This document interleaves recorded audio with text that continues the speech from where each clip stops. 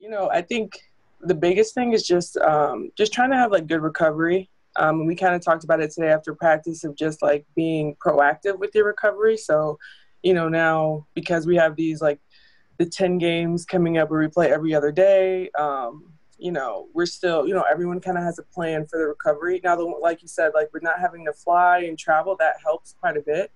Um, but it's kind of like you get both sides. Like we're not traveling, but now we're playing every other day, which we don't usually do. So, a lot of it's just trying to keep your body, um, you know, feeling as good as possible, and then making sure that you're really using those resources um, to, you know, stretch, roll, ice baths, all types of things, just to try to stay ahead of it a little. Um, you know, it it's not ideal, but at the same time, you know, with the quarantine time before we came, I was at home way longer than what I usually am. So that was really nice. You know, I live at home with my parents and my grandparents are there as well. So I really get to see, you know, most of my family. Um, but, you know, with FaceTime and everything. Like we're kind of used to doing that from like when I play overseas. So you know, you wish you could be with your family, but at the same time, it's you know, it's it's not uncommon or unusual for us to like be away. Um, so we find ways to still stay in contact, for sure. Uh, yeah, my mom's uh, mac and cheese and greens. I wish I could have that right now. I'll just have to wait until I.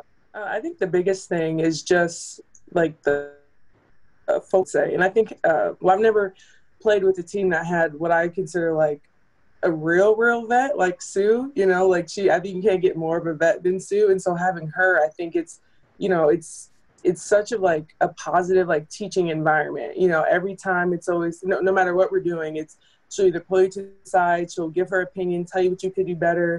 You know, even yesterday we were doing treatment, she was telling me, you know, with my shot, it's a little flat and to like bend my knees and all like just different things that I think you don't get a lot of places. Um, and you know, always someone trying to help, always being helpful, keeping people on their like best and to try to make sure that you're, you know, doing anything possible to help the team. So I think that's kind of the culture. Everyone helps each other, everyone holds each other accountable. And I think that's why Seattle's been really successful. Um, I mean, I personally haven't heard it as well as much, I guess. Um, but I, I agree with Jewell wholeheartedly. I think maybe it's just because we don't have necessarily like maybe that like super physical enforcer type of player, but I don't think that equates to us being soft at all. You know, I think we're the way we play is very, you know, it's fast paced, up and down. We can everyone can spread the floor. We don't really have like a true five or real real post players.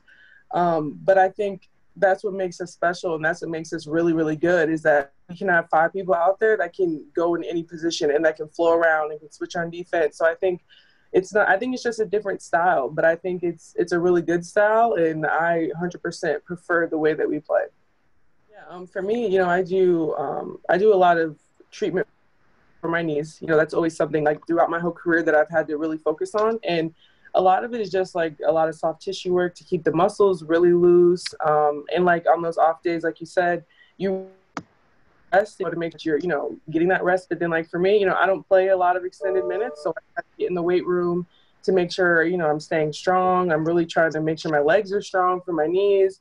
Um, you know, you get your extra cardio. So it's kind of a balance. It's like when you don't play as much, you might do a little bit more on those off days. And then if you play a little more, then you kind of take it a little easier and you do more of the like you know, massage, that type of thing. So you just, I just try to find the balance for sure.